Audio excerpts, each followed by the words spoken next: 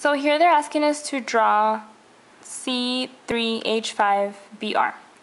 So again, I like to start off with my carbons first. So one possible isomer for this um, molecule would be to have one carbon here, another carbon here, one carbon here, and then Br over here.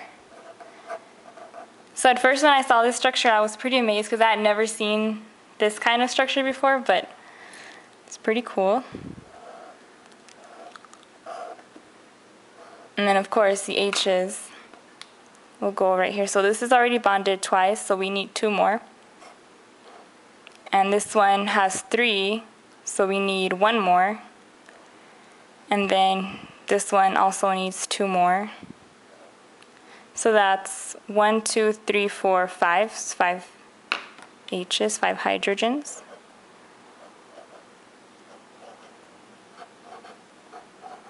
So we have five hydrogens, we have the three carbons, and then we have the one bromine. So that's how you do the, that's one possible isomer for that one.